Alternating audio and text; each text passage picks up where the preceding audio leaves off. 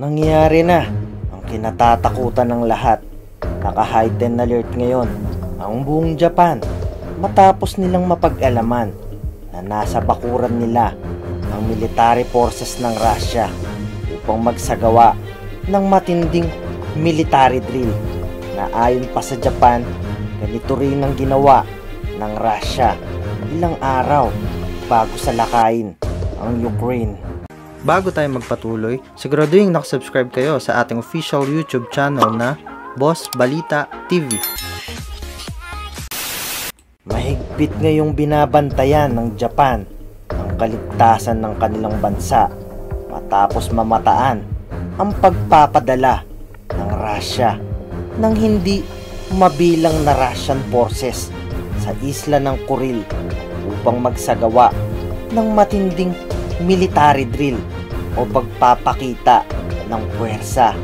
Ayon sa datos na nakalap ng Japan, namataan sa lugar ang mahigit 4,000 sundalo ng Russia at hindi mabilang na Su-35 air defense fighter jets at Mi-8 helicopters at Bastion P coastal defense system at T-72B3 tanks at napakaraming unmanned aerial vehicles. Ayon pa sa Japan, sa tingin nila, sinasamantala ng Russia ang kasalukuyang pagsuspinde ng Moscow ng kanilang territorial peace talks. Sa mga hindi po nakakaalam kung bakit nasa bakuran ngayon ng Japan ang Russia.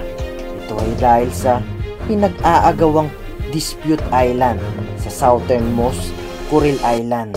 Dahil ang Kuril Island ay nagtataglay ng ilang maliliit na isla na nagkokonekta sa border ng Kamchatka, Russia at Hokkaido, Japan.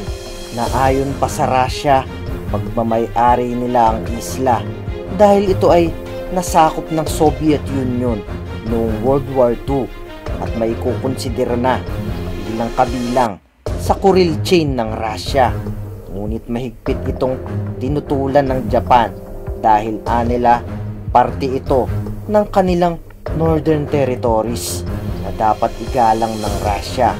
Ngayon, ang tanong, bakit nga ba ngayon lang ito nangyayari sa pagitan ng Russia at Japan?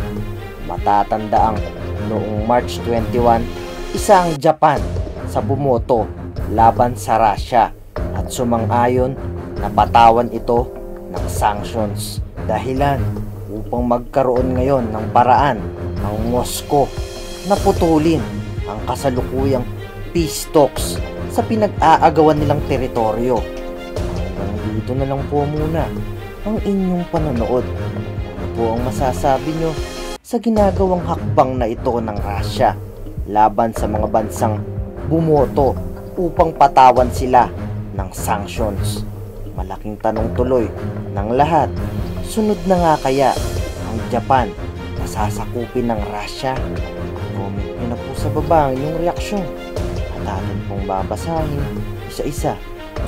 At kung nagustuhan mo ang video na ito, mag-comment ka na, i-like and share mo na rin. Huwag din kalimutan mag-subscribe. Salamat po sa panonood. Hanggang sa muli.